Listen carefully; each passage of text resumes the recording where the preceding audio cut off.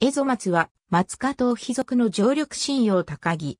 近縁の赤エゾマツも含めて、エゾマツと総称することも多く、この場合には赤エゾマツと対比して黒エゾマツあるいは黒エゾと呼ばれる。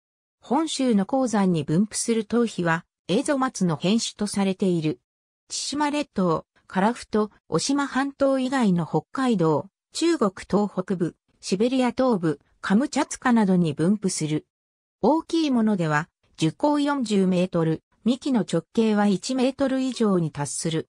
樹皮は黒褐色で、鱗状に割れ目が入るのが特徴であるが、当年枝の表面は滑らかでやや単色である。天然には、紅葉樹やトドマツなど他の針葉樹と混交して自生する。暴風林や公園樹、庭木、盆栽葉樹として植えられる。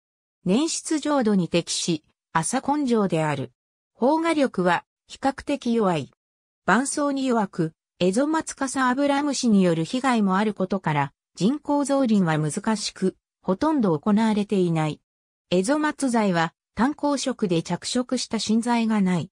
木目もまっすぐに通っており美しく、建築材料に多く用いられる。